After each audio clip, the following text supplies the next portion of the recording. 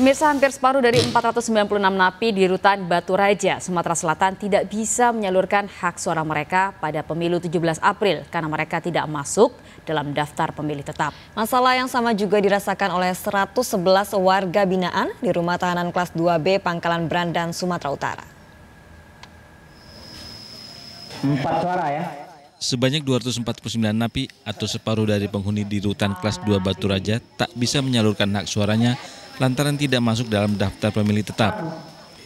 Masalah ini disayangkan oleh pihak rutan, termasuk Napi sebab sebelumnya Dinas Kependudukan dan Catatan Sipil serta KPU Kabupaten Ogan Komering Ulu sudah mendata langsung para napi di rutan Batu Raja. Kalau rekan-rekan tidak memilih itu sebetulnya sangat berharap, namun karena mereka ada hambatan yang tidak lengkap administrasi, terpaksa mereka tidak memilih. Padahal ingin memilih ya? Iya, sangat ingin memilih apabila memang ada kesempatan untuk memilih. Warga binaan rutan kelas 2B Pangkalan Brandan, Kabupaten Langkat, Sumatera Utara ini juga tidak dapat merasakan maraknya pesta demokrasi tahun 2019 ini. Dari 428 warga Binjai yang berada di rutan, 111 orang warga binaan yang memiliki KTP elektronik juga tidak dapat memilih.